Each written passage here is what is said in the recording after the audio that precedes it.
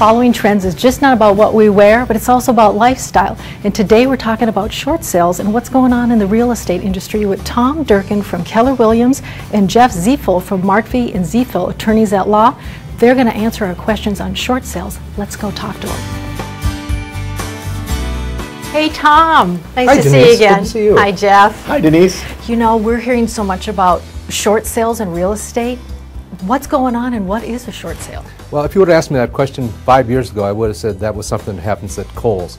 But today, a short sale means that we're asking the lender to take less than what is owned on the house. Jeff, why would someone need to use an attorney on a short sale? Well, Denise, there is a lot of legal consequences and aspects to short sales. What our office does is provide advice to the seller so that they have they're well informed of all these consequences. We've got some viewer questions on short sales. Are you ready to take them on? Bring 'em on. Okay. Well, Mystery Mimi, we got him right here. Let's go. All right. I've just lost my job and I'm having difficulty making the payments. What about just walking away? Susan from Minneapolis, Minnesota. Well, Susan, that's probably one of the worst things you can do. Uh, walking away from a property can affect you way in the long run. Uh, short sale uh, does not affect your credit as bad as a foreclosure, which is what will wind up happening in the long run should you walk away. Bill from Stillwater, Minnesota writes, The sheriff's sale just happened last week. Can I still get help? Yes, we certainly can, but time is running out. There's only a, a six-month period after the sheriff's sale where you still have the ability to sell the home.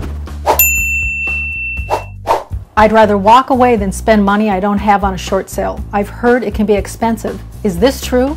Charlie from Delano, Minnesota. Charlie, that's probably the number one question I get asked. People are in, are in trouble, they don't have the money. Through the process we use, it will not cost you anything to sell your house.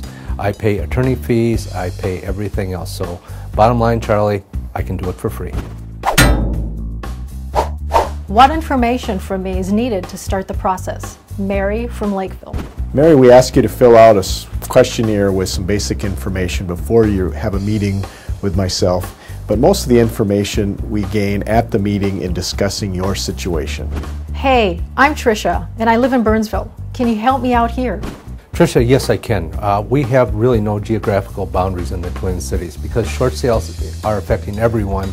We're able to go meet with you and help you out. Vicky from Forest Lake writes, How does someone know if they are a candidate for a short sale? First of all, to be eligible for a short sale, your home value must be at a, at a range that you owe more on the home than it's worth. Secondly, that you must have a demonstrated hardship in the sense that financially you, you can't afford the payment, such as you've lost your job, have decreased work hours, or in some circumstances you, you're required by your employer to relocate. These qualify you for a short sale. Dennis from St. Paul wants to know, Will my neighbors know that I'm losing my home and need to do a short sale? Good question, Dennis. No, your neighbors will not. We'll put a sign up just like a traditional sale. All the bells and whistles that goes into a traditional sale will be there, but there will be no big announcement or any kind of signage indicating this is a short sale.